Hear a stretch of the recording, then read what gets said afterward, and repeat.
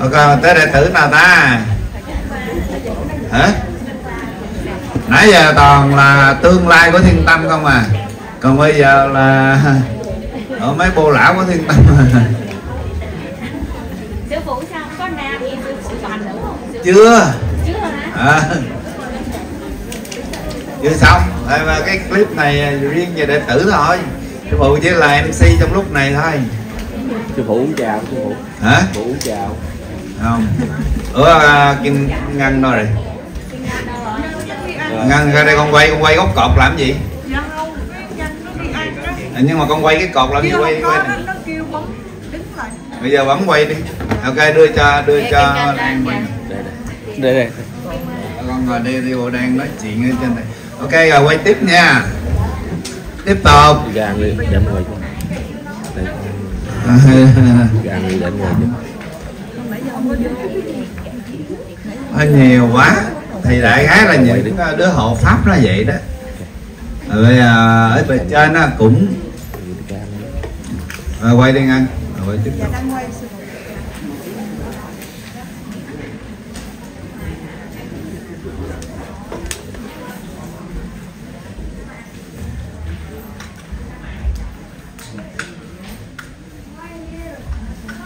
Hù mới bước ra nãy giờ nhiều 10 phút mà dạ. Là good. Nó không biết ra làm gì không? Cha nãy giờ đứng đây cha kêu phụ ra ngoài đó nói chuyện. Con có biết binh tướng mà thằng hầu cha đó từ cái núi tuốt đằng kia mà mấy ông đứng dài tới đây còn đếm thử nhiêu người. Mấy triệu người á. Thì cha nói là thứ nhất là mấy đệ tử nãy giờ mình nói trang nghe nãy giờ đứng đây nè. Thì dạy cho sụ nói chuyện với mấy con. Rồi à, ba vấn đề. Đề đó vấn đề nhà vấn đề à, gì nữa? Mới đây. Thì mà, đại khái là những gì hồi nãy giờ mấy con sám hối cha đứng cho cha chứng hết đó.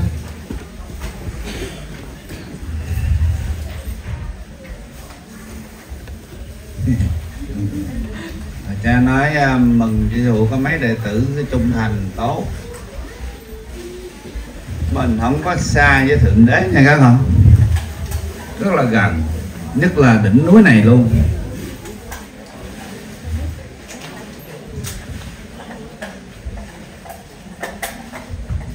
Những cái gì mà sư phụ nói ra đều là lời thật, lòng thật ở cái thời đại nó lạ thì cho nên chỉ có một người lạ trong 8 tỷ người là vậy thôi.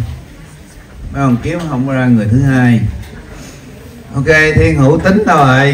Nãy giờ nó không có bôi có bôi với um, à, thiên cá đâu rồi ta? Thiên cá đâu ngày hôm qua cá sân quá. Hả?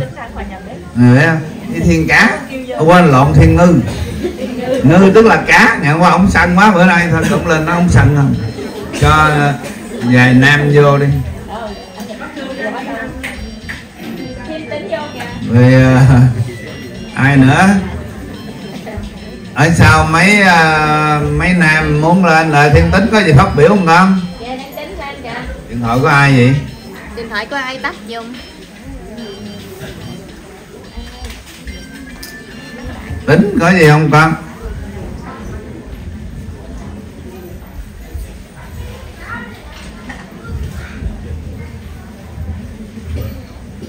đệ tử này cũng được lắm à không biết có đệ tử nữ đứa nào à, nó mấy nút không? Gả luôn cho rồi. Có gì phát biểu? Ừ. Xin định lễ sư phụ. Kính chào tất cả các gia đình họ thiên tâm trong đây. Ừ.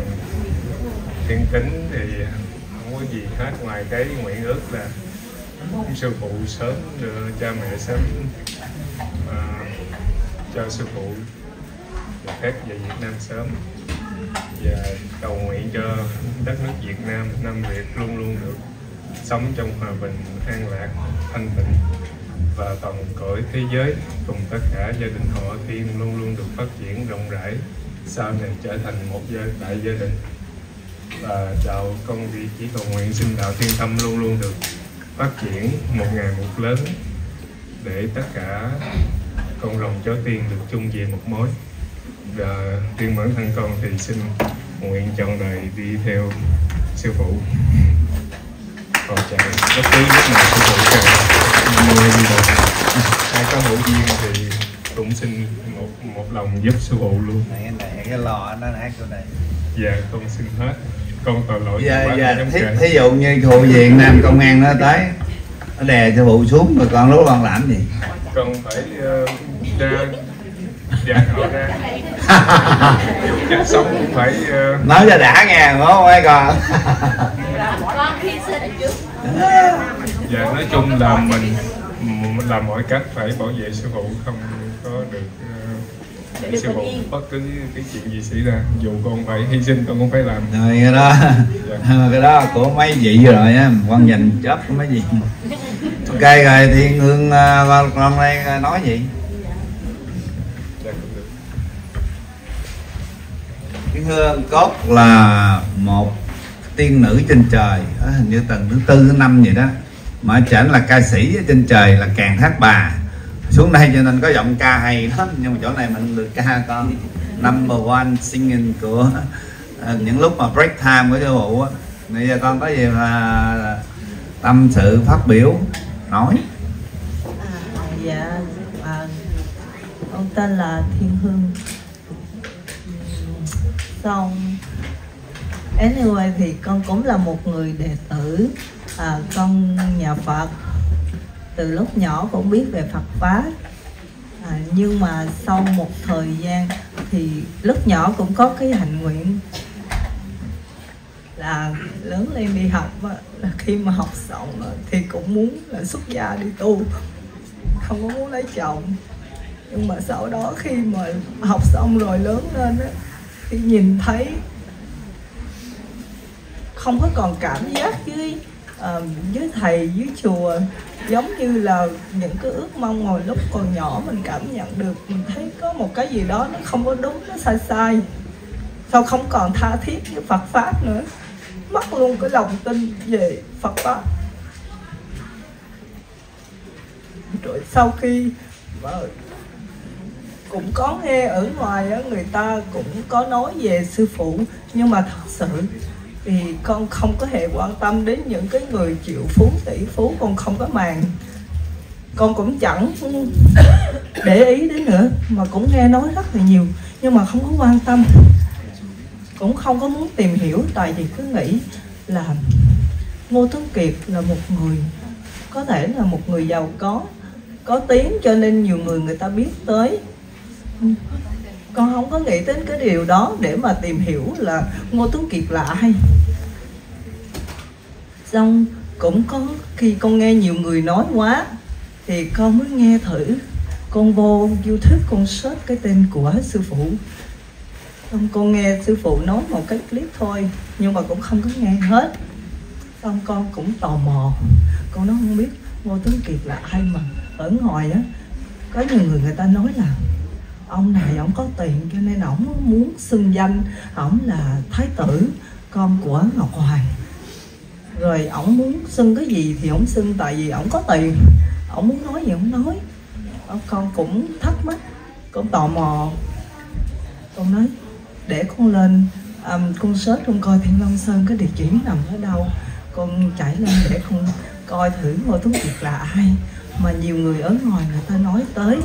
Và cũng có những người mà con quen biết người ta cũng là someone they are somebody người ta nói về sư phụ với một cái con cảm nhận được là có cái sự ganh tị ở trong đó.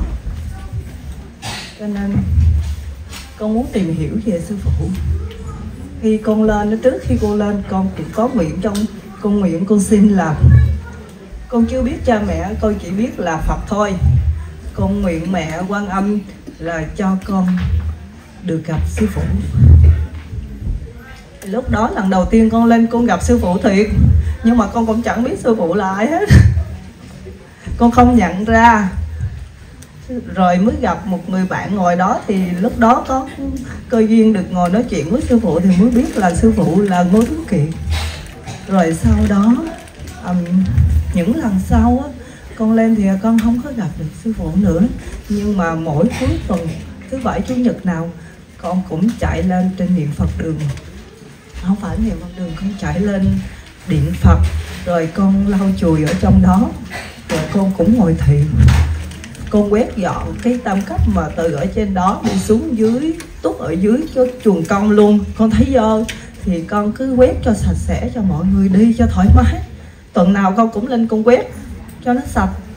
Rồi suốt một thời gian tới khi covid cái chuồng đóng cửa thì con không có mã số để lên được, thì con ở nhà rồi sau này khi mà cổng chùa mở lại đó cửa núi mở lại um, cũng chưa mở nhưng mà con có duyên được biết cái khốt thì con lên. Con cũng làm những cái việc mà con muốn làm thôi. Rồi gặp được sư phụ vài lần nghe sư phụ nói chuyện. Nhưng mà cũng chưa cũng chỉ là nghe thôi chứ chưa biết về mẹ nữa luôn. Tới khi mà đến niệm phật đường đó thì con mới hỏi ai cũng mặc cái áo có cái dấu thiên tâm con không biết. Con hỏi vậy cái dấu này là cái dấu gì mà ai cũng có? Vậy thì con mới biết được oh, thì ra đây là cái dấu thiên tâm và đây là một cái đạo. Lúc đó con mới, mới biết bắt đầu mới biết về đạo thiên tâm. Là đó là đạo của cha mẹ từ lúc đó là biết về cha mẹ biết về đạo thiên tâm và tới cái ngày mà sư phụ um, làm cái lễ để khấn um, tế thiên đó là trong cái ngày đó vô tình con đi lên được trên núi rồi con thấy mọi người đó đang sửa soạn để cho sư phụ à, làm lễ tế. Con cũng nhào vô cô giúp. Sau đó thì sư phụ nhận con làm đệ tử trong cái ngày hôm đó luôn rồi từ đó con tìm hiểu con biết về những cái gì mà sư phụ nói um, nói về thiên tâm về cha mẹ. Là cha mẹ là đấng toàn năng là bậc khai sáng ra vũ trụ.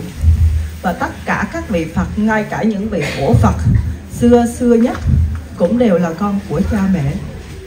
Chứ không phải là những vị Phật là những đấng toàn năng là những vị cao nhất của vũ trụ con thấy mất sen tại vì khi mà vũ trụ còn sơ khai phở còn hồng hoang thì cha chính là người sáng tạo ra vũ trụ này.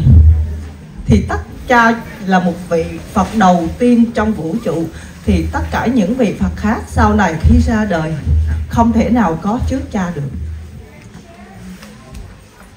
Không từ Hay đó. quá là tưởng là giảm đó là những thế hệ sau của thiên tâm á? Thì con con nhận thấy cái điều đó, con tự suy luận ra và con thấy những cái điều sư phụ giảng rất là rất là make sense và rất là khoa học. Cho nên con rất là tin, con lấy lại được cái niềm tin đó. Và con thật sự rất là tôn sùng sư phụ luôn nói tóm lại là từ lúc mà tới giờ con với ngang yêu nhau nhiều hơn không? Ừ thằng này xưa đâu biết đâu. Tối ngày đệ tử này cái lên đưa cái hình để mà độ độ một người không phải dễ đâu con. Khó lắm á. Cũng may độ ông này lẹ thầy cốt này cũng cao lắm á. Nó cũng thường thứ dữ á thì thôi à, gia đình giờ hạnh phúc. Cái bàn thờ ở nhà của đệ tử này rất là trang nghiêm rất là đẹp giờ là những đứa tuổi trẻ này, cái tham mình, cái thời gian nó học hỏi tiến bộ lẹ hơn những cái đệ tử này rồi. Con biết rồi đó. Ok, rồi hoan nghênh à, thiên hương, đệ tử ủng của sư cái giờ lên được nè.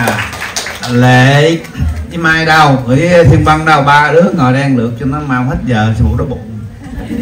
Để clip này làm kỷ niệm, phải không? Lại mấy đệ tử ruột lên cho có hình chút rồi nhà mai đâu ông mai vẫn qua đây.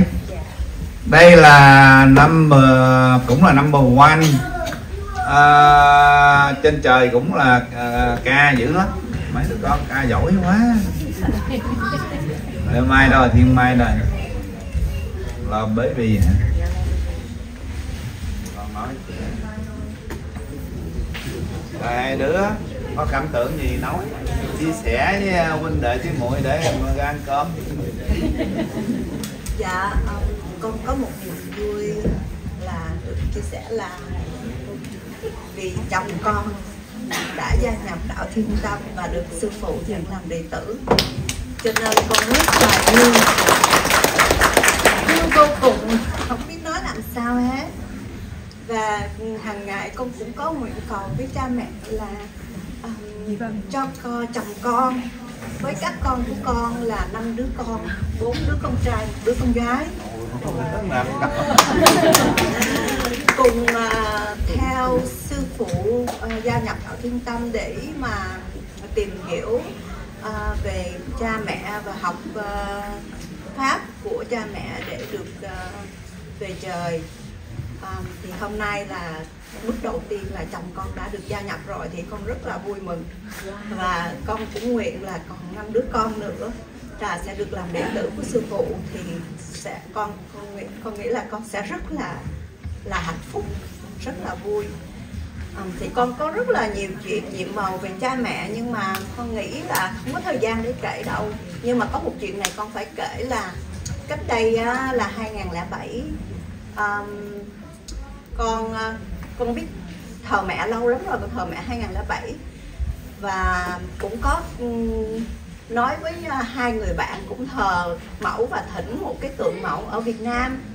Thì cái cô đó thỉnh qua thì cho thì con thờ đến bây giờ thỉnh mẹ mẹ thì thờ đến bây giờ. Thì cách đây 2007 đó là thời đó là con mua một cái căn nhà một triệu sáu mà bây giờ là giá 3 triệu mấy nha. Oh, hay quá ta cho giàu à. anh mới cõi tiền xuống dạ. cái nào đấy tướng cũng nhưng À, mà nhưng mà cái nhà nữa. đó đó Ôi trời là không là lúc 2007 là foreclose, short sale, everybody là coi như chết hết real estate agent đó là là cũng đại luôn mà nhà con á là con con vừa có cái nhà đó là con cũng bị mất business luôn cũng không trả nổi nữa mà một đúng ngày mùng 8 18 28 lập bàn thờ ra, cầu mẹ, cầu cha để mà phù hộ cho con làm sao giữ được căn nhà này. Nếu mà con mất cái nhà này là con sẽ bị khùng luôn á, là mất hết tất cả vì là con invest nhà mua bốn năm căn, bán hết, dồn vô căn nhà này. Mà mất nhà là mất hết tất cả. Mà trời ơi, người ta sọt xe quá trời. Vậy mà cầu nguyện cầu nguyện riết cầu nguyện riết mà cứ làm lon lại, modification lon tới làm lui. Vậy mà vượt qua được tới lúc nhà lên lại trở lại bình thường. Thì con rất tiếc là tại vì con không giữ được là vì năm đứa con của con nó phải đi đại học. Con không có đủ khả năng để giữ cái nhà đó để mà ờ, tiếp tục thì bán đi. Nhưng mà bây giờ cũng mua được nhà khác thôi cũng được qua khỏi cho nên là nói đến cho các xin lỗi là nãy giờ con vui mừng quá quên có chào các à, các bác các cô các huynh đệ tỷ muội xin tha thứ. Ờ, là vì mình quá mừng. Cho nên ha, con muốn nói ra cái niềm vui của con vậy cho mọi người biết. Dạ xin hết. À, còn sale nha mẹ dạ nhưng mà không phải song hành nha không phải tu dạ. Rồi, hai đứa là nói. Con lên đây.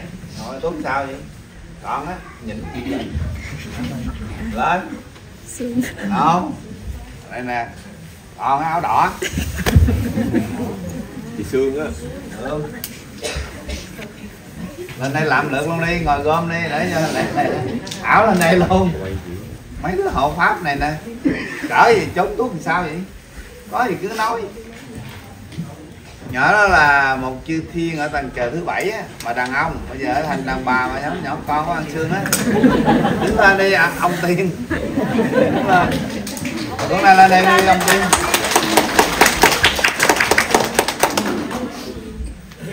Đây, ngồi nè gom lại nói một lượt luôn. Rồi để cho mình tổng kết bữa nay rồi cái là mình ăn nói gì cứ nói lên đấy nè cỡ trời đàn ông mà mắc cỡ đâu phải đàn bà đâu con là ông tiên mà con xuống đây hộ pháp thì con nói gì con nói thấy mỹ hạnh đâu cũng ông tiên lăng xăng này cũng ông tiên Đó. À, dạ, à, xin chào sư phụ, chào mọi người. à, em cũng không biết nói gì hơn là thật sự cái gì em cũng tin là có duyên số và um, từ 1 tuổi đến 15 tuổi thì em, ở trước nhà em đó thì nó có hai cái chùa. Lúc nào em cũng chạy lòng vòng vòng vòng ở trong đó, thì ở đó ở Việt Nam. Nhưng mà thì em không có tu tập giống như mấy người kia, em chỉ là tò mò rồi. Ừ, lúc nào cũng chạy lòng vòng trong chùa mà không có biết sợ. Chùa thì lúc nào cũng tắt đèn tối thui vậy mà mình cũng đi. Mình cứ đi mình, giống như mình đi chơi trong đó, mình thích chơi trong đó vậy đó. Ôi, mới chạy ở ngoài tóm tóm lại đi con. Dạ. Ờm, rồi từ 15 đến 30 tuổi thì đi ờ, nhà thờ Tinh Lành. Thì tin Chúa Ờm, và khi vô đạo Chúa thì không đây có ngồi luôn đó nói đi nói mấy câu cho vui. Nhưng mà mình cũng vô. thấy là nó, ăn kia kìa nó có gì thiếu thiếu cho nên sau Ai đó đây? là em không có đi ờ, bất cứ tôn giáo nào nữa hết thì trong 10 năm sau đó là em tìm hiểu em vẫn tìm hiểu về các đạo khác nhau. À, vẫn thích học về tâm linh nhưng mà mình cảm thấy không có cái nào phù hợp. Thì cứ đến một ngày thì gặp ờm, cái người chị á nói là ô ờ, có ông sư nào khôn quá mua cái núi bự lắm ở Militas à, thì à, em đi lên đó em coi thử coi.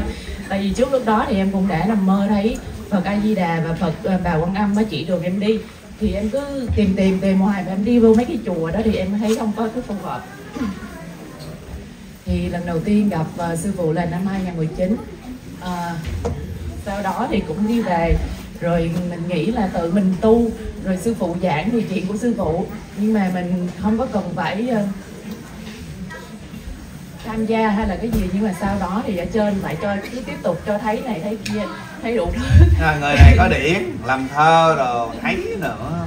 À, À, tức là thấy nhiều kiếp của mình rồi thấy cái người sư phụ mà um, sư phụ là chỉ định là phải đi theo. Rồi sau đó em em cầu nguyện với cha mẹ rồi em hỏi là có đúng là đây là thái tử là cái người em phải đi theo. Thì sau đó là em mới là uh, xuống gặp sư phụ mình thì theo chị kia trước. Lúc đó thì anh nghĩ là mình tự tu ở nhà giống như sư phụ nói là tự mình đút đút đút đút mà đi vậy đó thì cũng được. Nhưng mà um, ở trên cứ cho thấy hoài cho nên là mình nói thôi không có ngoan cố nữa. Cho nên là hôm nay ở đây. Lúc đó bạn mắt cũng là cũng nè có điểm ok rồi. À, anh Hoàng với An à, nói gì không?